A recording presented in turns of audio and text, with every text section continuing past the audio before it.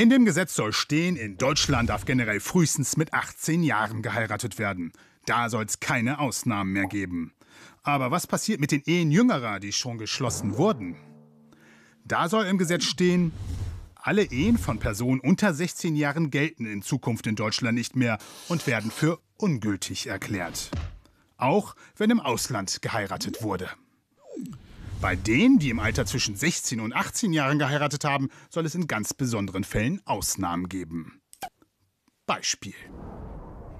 Eine Frau, die mit 17 Jahren im Ausland geheiratet, Kinder bekommen hat und schon viele Jahre eine glückliche Ehe geführt hat und dann nach Deutschland kommt, da wird die Heirat anerkannt.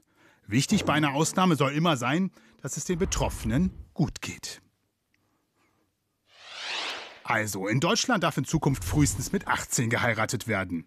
Auch im Ausland geschlossene Ehen von unter 16-Jährigen sollen in Deutschland nicht mehr gelten.